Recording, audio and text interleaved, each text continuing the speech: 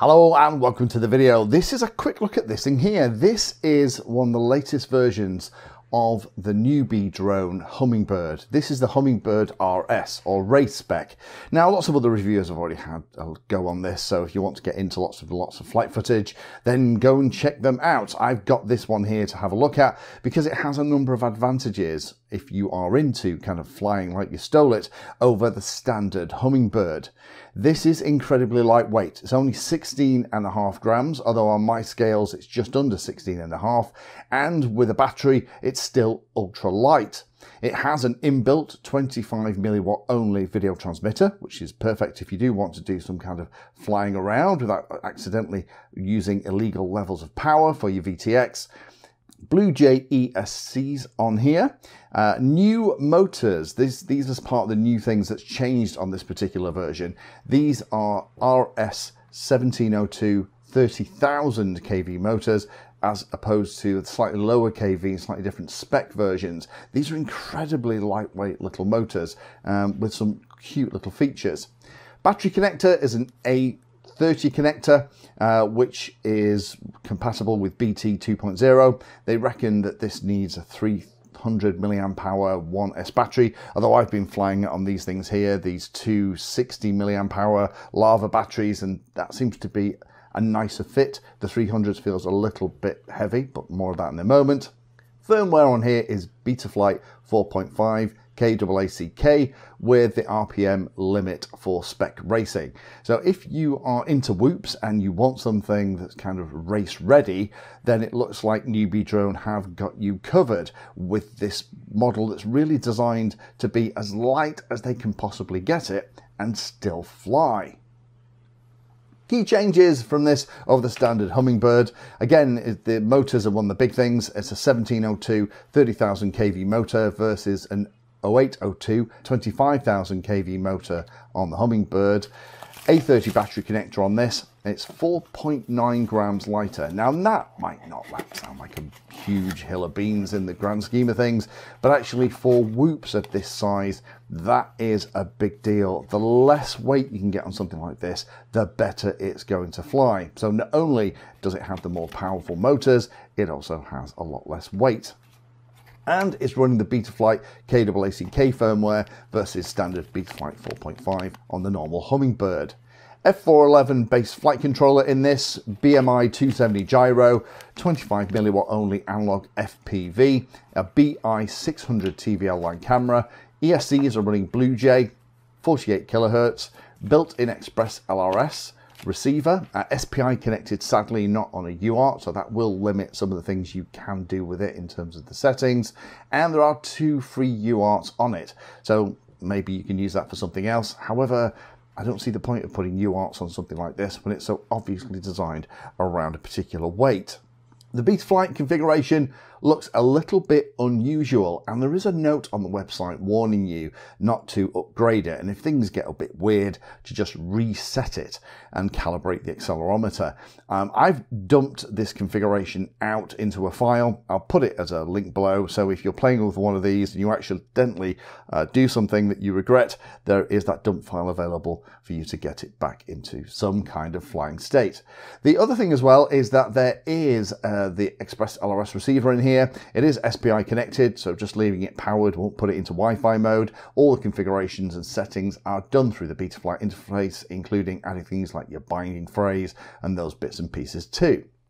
In terms of the flying, well, surprise, surprise, they've put a lot of time and effort into this. It flies really nicely. Hovering at about a third throttle, flight time is roughly two and a half to three minutes on a 260 milliamp hour battery, depending on how you fly it absolutely tons of power and very, very quiet and very smooth. That lots of power does mean that it might be worthwhile maybe putting a little throttle curve in while you're flying around the house because it does require a little bit of finesse in terms of your throttle to get around places, particularly when you're flying indoors. So I like the fact that NewBeeDrone have taken their very good Hummingbird and turned it into something specifically designed for those of you that like to race or want to practice flying a very capable quick 1S quad.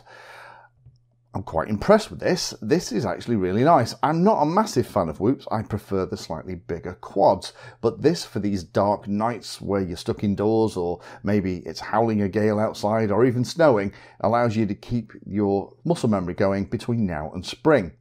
There's kind of just enough essential parts on this with the kind of canopy that's made of 3D printed PTFE. Uh, I believe the files are available for that so you can modify and print your own as well, which would be good.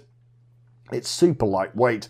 The couple of weird things, like for example, the wires from the motor onto the flight controller. What they've done is it looks like they've just exposed the end of the wires that are part of the windings and actually soldered them onto the edge of the flight controller. So normally on a Whoop, you'd see the three wires coming in, and it's all done in not only the pursuit of less weight, but potentially in pursuit of less cost as well. But it does mean that if you need to replace a motor on this, you're going to have to be pretty good with your soldering iron. This isn't expensive either. This is cheap and very capable and gives really good value for money if you're after a cheap, fun quad that you can honk around.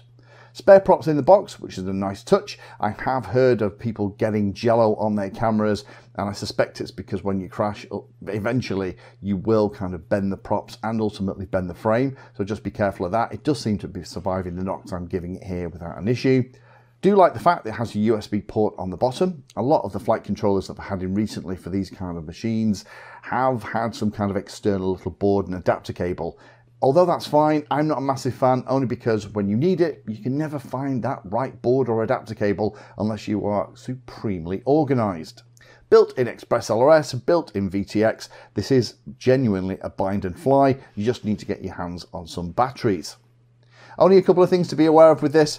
It is limited to 25 milliwatts power, so you're not going to get any distance away from yourself before you're going to get into trouble. The antennas are nice linear style antennas, so I would recommend using linear style antennas on your goggles, and that's going to help with reception. Interestingly, looking at the motors, I think they have bushings in them rather than bearings. That again is kind of a cost saving exercise. Uh, the motors seem to be working fine, but just be aware that there are some kind of funky decisions in here to kind of make this as light as possible. And if you do need to replace one of these motors, you are going to have to break out the soldering iron and be careful you don't break any of these very thin wires that are basically just the ends of the windings going onto the flight controller.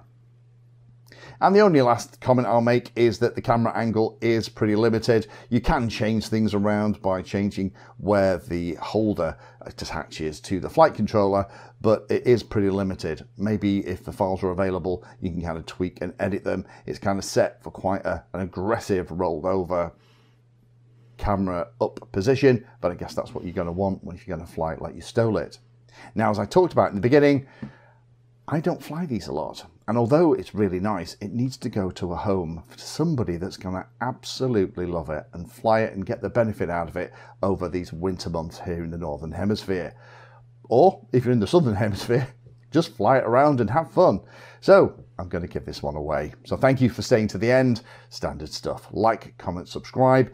Include the text shown on the screen in the comment, and I will do the draw in about a week. Good luck to everybody, and uh, if you are interested in buying kind of a race ready whoop that's really nicely set up out the box, this is definitely worth a look and a great little quad for the money.